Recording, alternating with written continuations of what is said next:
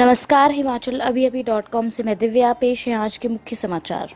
हिमाचल में पहली जून से नहीं चलेंगी प्राइवेट बसें, ऑपरेटरों ने खड़े किए हाथ। हिमाचल में आज सात नए मामले आए सामने। हिमाचल में कोरोना पॉजिटिव का आंकड़ा एक सौ पचानवे पहुँचा।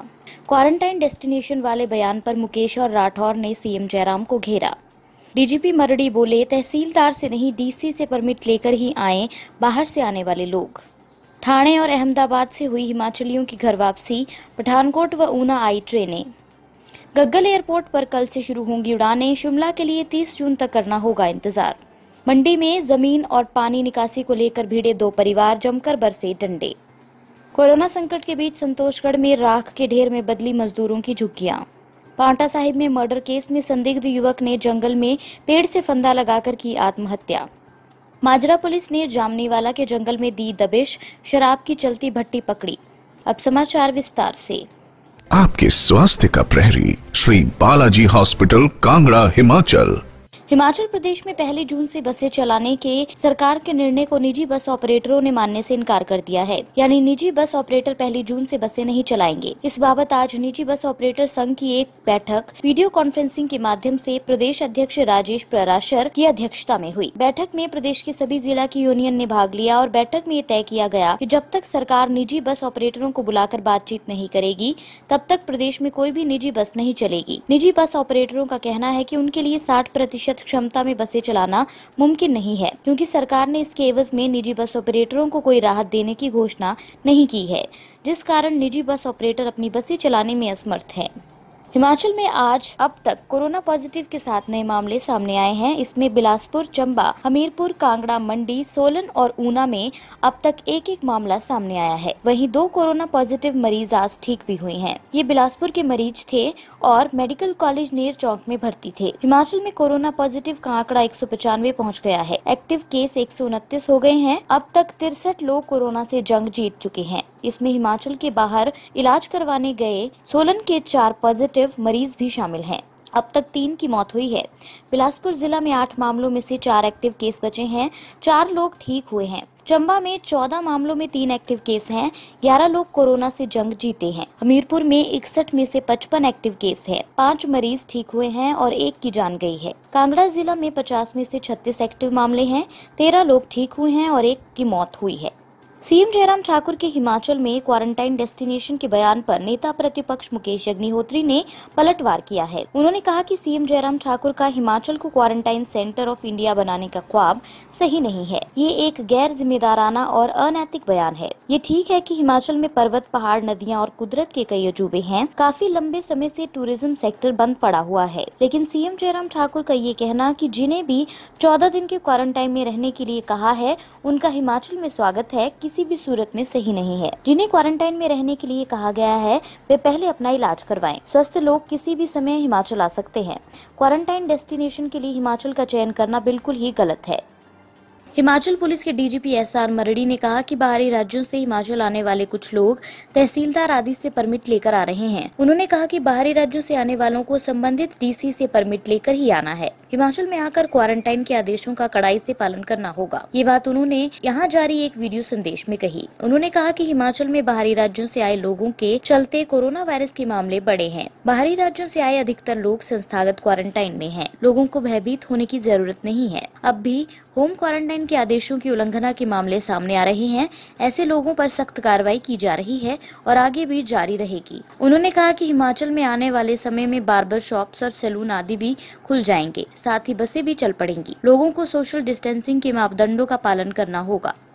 लॉकडाउन के कारण बाहरी राज्यों में फंसे लोगों को लेकर आज एक और विशेष ट्रेन 580 यात्रियों को लेकर सुबह पाँच बजकर चालीस मिनट पर ठाणे महाराष्ट्र से पठानकोट के चक्की बैंक स्टेशन पर पहुँची। इसके अलावा गुजरात के अहमदाबाद से भी पाँच हिमाचलियों को लेकर रेलगाड़ी दोपहर लगभग तीन बजे ऊना रेलवे स्टेशन पर पहुँची। पठानकोट पहुँची ट्रेन से कांगड़ा जिला के 245, हमीरपुर के 101, मंडी के सतासठ ऊना के सैतालीस बिलासपुर के चौंतीस चंबा के 26, शिमला के 20, सोलन के 15 यात्रियों के अतिरिक्त सिरमौर के 16 जबकि कुल्लू के छह तथा किन्नौर के तीन लोगों को उनके गंतव्य के लिए रवाना किया गया। जबकि अहमदाबाद से कांगड़ा जिला के 210, हमीरपुर से चौहत्तर मंडी से बयासी शिमला से 40, चंबा से सैंतीस कुल्लू से सात किन्नौर व लाहौल स्पीति से एक एक बिलासपुर से तेईस ऊना से सैतालीस सिरमौर से दस व सोलन से तेरह यात्री वापस पहुँचे हैं। इन सभी को अपने अपने जिलों में इंस्टीट्यूशनल क्वारंटाइन रहना होगा। अन्य समाचार ब्रेक के बाद। Shri Balaji multi speciality hospital, Kangra, जहाँ आपको एक ही छत के नीचे मिले बेहतरीन चिकित्सा सुविधाएँ। Cardiology, laparoscopic, general surgery neuro surgery orthopaedics, paediatric, radio diagnosis, urology, gastroenterology, ophthalmology, pathology, medicine, anaesthesia और डेंटल जैसी अत्याधुनिक और बेहतरीन चिकित्सा सुविधाएँ। 24 घंटे इमरजेंसी सुविधा। नौ बेड के साथ critical care unit cardiac monitor और डिफिब्रिलेटर्स सेंट्रल ऑक्सीजन लाइन और वेंटिलेटर सुविधा। हिमाचल प्रदेश के सबसे बड़े निजी स्वास्थ्य सेवा प्रदाताओं में से एक। Shri Balaji multi speciality hospital Kangra. राष्ट्रीय स्वास्थ्य बीमा योजना के साथ सूचीबद्ध Shri Balaji multi speciality hospital Kangra. BPL परिवारों के लिए अस्पताल में कैशलेस भर्ती होने के साथ ही ईसीएच की भी सुविधा। हमारा पता, Shri Balaji multi speciality hospital, Balaji Vihar, Ujjain, Kangra.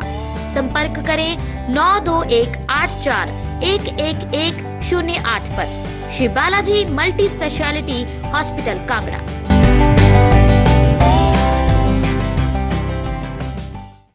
Corona virus के चलते दो महीने से गग्गल एयरपोर्ट बंद है। बीते 21 मार्च से लॉकडाउन के चलते यहाँ बंद पड़ी विमान सेवाएँ। 25 मई यानी कल से शुरू होंगी। एयरपोर्ट के यातायात प्रभारी गौरव कुमार ने बताया कि सुबह ग्यारह बजकर पाँच मिनट पर स्पाइस जेट का विमान दिल्ली से उड़ान भरकर बारह बजकर बीस मिनट में गग्गल पहुंचेगा। इसके बाद बारह बजकर चालीस मिनट पर वापस दिल्ली के लिए उड़ान भरेगा, जबकि एयर इंडिया का विमान बारह बजकर पाँच मिनट पर दिल्ली से उड़ान भरकर एक बजकर बीस मिनट पर गग्गल पहुंचेगा। दो बजे गग्गल से चंडीगढ़ चंडीगढ़ के लिए रवाना होगा, फिर दो बजे चंडीगढ़ से दिल्ली जाएगा। वहीं एयर इंडिया की दिल्ली शिमला हवाई उड़ानें 30 जून से शुरू होंगी। एयर इंडिया के टर्मिनल मैनेजर सयाल सिंह ने बताया कि इस फ़्लाइट को स्लॉट नहीं मिल पाया है। वहीं भूंतर एयरपोर्ट में उड़ानों की तैयारियाँ पूरी कर ली गई हैं। जल्द ही यहाँ उड़ानें शुरू हो जाएँगी। मंडी शहर के साथ लगते सनियारडी गाँव में आज सुबह दो परिवारों के बीच ज़मीन और पानी की निकासी को लेकर विवाद हो गया। विवाद इतना गहरा गया कि दोनों पक्षों के बीच जमकर डंडों की बरसात हो गई। इस मारपीट में दोनों पक्षों के दो लोगों को आंशिक चोटें आई हैं। पुलिस ने दोनों की शिकायत पर क्रॉस एफआईआर दर्ज करके कार्रवाई शुरू कर दी है। सनियारडी निवासी मुरारी लाल और कुसुम के बीच ज़मीन और पानी की निकासी को लेकर विवाद चला हुआ है। मुरारी लाल के अनुसार आज सुबह वे अपनी ज़मीन पर सफ़ाई कर रहा था, जिसका कुसुम और उसके परिवार वालों ने विरोध किया। मुरारी लाल का कहना है कि ज़मीन उसकी है और दूसरों के घर से निकलने वाले गंदे पानी को उसकी ज़मीन पर खुले में फेंका जा रहा है। इसी बात को लेकर दोनों के बीच विवाद शुरू हो गया। कोरोना संकट के बीच पुलिस चौकी संतोषगढ़ के तहत स्वा नदी के किनारे स्थित आधा दर्जन प्रवासी मजदूरों की झुग्गियों में आग लग गई। आगजनी की घटना में करीब पचपन हज़ार रूपए की नकदी सहित झुग्गियों के अंदर सारा सामान जलकर राख हो गया। वहीं छह मुर्गे भी ज़िंदा जल गए। प्रवासी मजदूरों ने हैंडपंप के पानी की मदद से आग बुझाने का प्रयास किया, लेकिन सारी मेहनत बेकार गई। आगजनी में सभी के कपड़े, बर्तन, राशन, बैंक की कॉपी, आधार कार्ड व अन्य कागजात भी जलकर राख हो गए। वहीं सूचना मिलने के बाद डीआरडीए के अधिकारी मौके पर पहुँचे और प्रवासी मजदूरों को राशन दिया।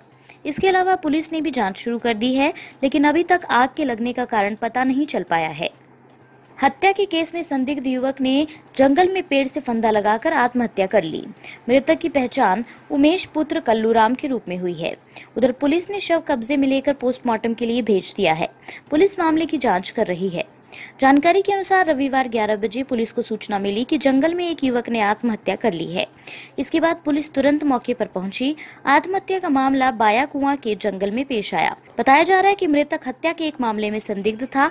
पुलिस युवक से इस वारदात को लेकर पूछताछ भी कर रही थी। याद रहे कि कुछ समय पहले पाउंटा साहिब के आईपीएच ऑफ़िस के बाहर चाकू से गोद कर एक व्यक्ति की हत्या की गई थी। इस मामले में युवक संदिग्ध बताया जा रहा था। पांवटा साहिब उपमंडल के जामनी घाट के डीडा जंगल और डीडा खाला में माजरा पुलिस ने कच्ची शराब के अवैध कारोबार का पर्दाफाश किया है। पुलिस ने यहाँ चलती भट्टी नष्ट की है। इस दौरान पुलिस ने 20 लीटर कच्ची शराब और 200 लीटर कच्ची लाहन नष्ट कर दी। मामले में पुलिस ने एक आरोपी को गिरफ़्तार किया है, जबकि एक मौके से फरार हो गया। पुलिस ने डीडा खाला में भी 1000 लीटर कच्ची लाहन मौके पर नष्ट की। जानकारी के अनुसार रविवार सुबह माजरा पुलिस ने जामनी घाट के डीडा जंगल व डीडा खाला में दबिश दी। इस दौरान यहाँ पर एक शराब की नाजायज भट्टी चलती हुई पाई गई। इसे यशवंत निवासी जामना घाट चलाता हुआ पाया गया, जिसे पुलिस ने पकड़ लिया, जबकि एक अन्य आरोपी पुलिस को देखकर मौके ऐसी फरार हो गया। पुलिस ने आरोपी के खिलाफ माजरा थाना में मामला दर्ज कर कार्रवाई शुरू कर दी है। एसपी अजय कृष्ण शर्मा ने मामले की पुष्टि की है। इसी के साथ आज के समाचार यही समाप्त होते हैं। धन्यवाद। आपके स्वास्थ्य का प्रहरी, श्री बालाजी हॉस्पिटल, कांगड़ा, हिमाचल।